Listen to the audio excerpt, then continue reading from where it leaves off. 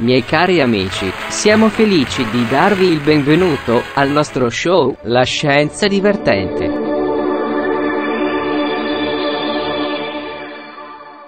Oggi, il nostro incontro è dedicato alla zoologia. E il nostro ospite è il famoso erpetologo, professore Amster.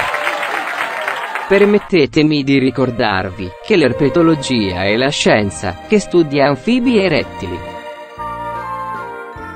La guest star che abbiamo invitato è l'illuminato più famoso di tutti i tempi, Euclide di Alessandria, sui cui libri di testo sono cresciute intere generazioni di scienziati. E ora, il signor Amster ci racconterà la sua storia.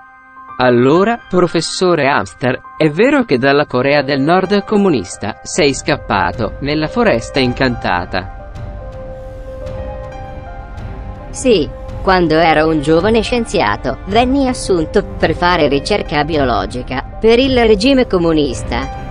Ha mai sentito parlare del famoso esperimento della rana bollita?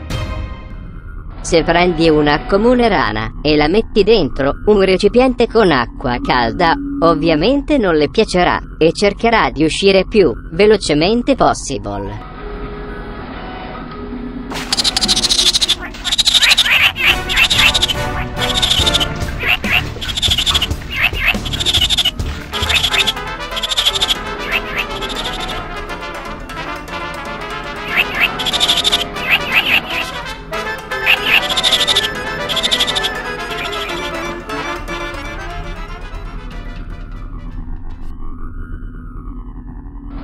Se invece metti la rana in un recipiente con acqua fredda, si sentirà a suo agio e non cercherà di scappare.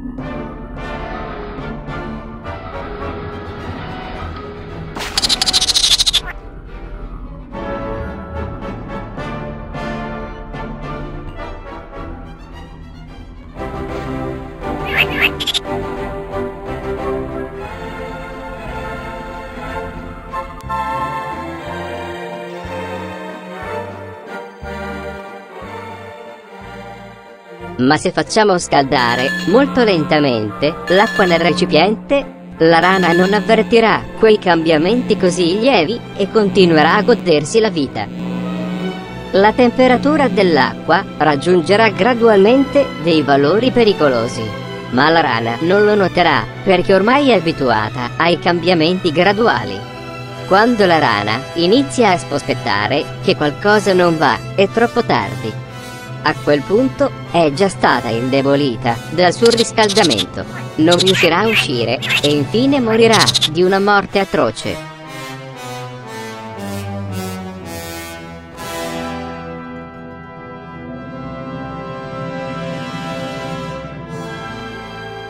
Sì, di una morte atroce.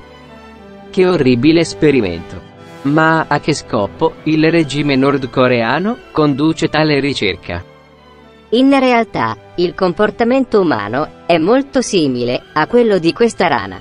Se effettui dei cambiamenti in tempi sufficientemente lenti, puoi far sì che una persona si abitui a qualsiasi cosa, anche la più terribile. Pertanto, i leader comunisti, attraverso queste crudeli sperimentazioni, cercano di elaborare metodi per influenzare la coscienza umana.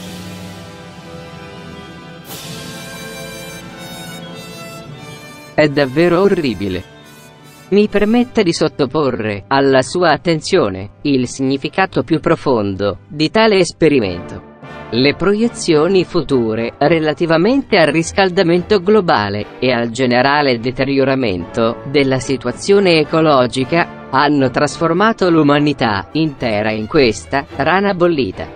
Il riscaldamento globale del pianeta sta aumentando sempre di più e noi continuiamo stupidamente a utilizzare risorse preziose per qualsiasi attività del tutto secondaria, come se non stesse accadendo nulla di così terribile.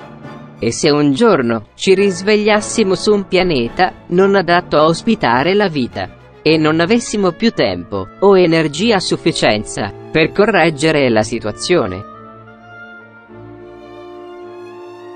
Oh, sì, E una giusta osservazione, credo. Dobbiamo smettere di fare delle cose insensate e concentrare tutte le forze per salvare il nostro pianeta natale. Voglio ringraziare il nostro ospite per questa discussione molto interessante e salutare i nostri telespettatori dandogli appuntamento al prossimo incontro nel nostro show. Ciao ciao.